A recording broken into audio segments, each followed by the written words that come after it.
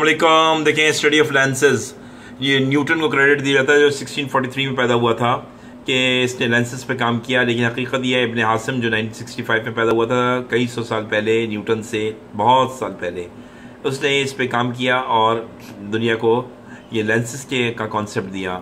और तकी अलदीन जो कि 1526 में पैदा हुए, ये भी न्यूटन से 100 साल पहले पैदा हुए थे, इन्होंने भी लाइट पर काम किया। तो अब क्रेडिट किसको देना चाहिए? हकीकत में आप समझ लीजिए देना चाहिए अपने आसम को और तकी अलदीन को और जबकि हम न्यूटन को दे रहे होते हैं, न्यूटन को देना चाहिए, बिल्कुल देना चाहिए। उसने इन दोनों के काम को पढ़ा और आगे बढ़ाया, क्योंकि इन्होंने इन्हीं की किताबें पढ़ी। लेकिन यह है कि हम नहीं पढ़ाते अपने बच्चों को, हमें ये सबक में पढ़ाना चाहिए ताकि हमारे बच्चे टेररिज्म का टैग ना लगाएँ अपने ऊपर, बल्कि मुसलमान साइंटिस्ट हैं, साइंटिस्ट बने।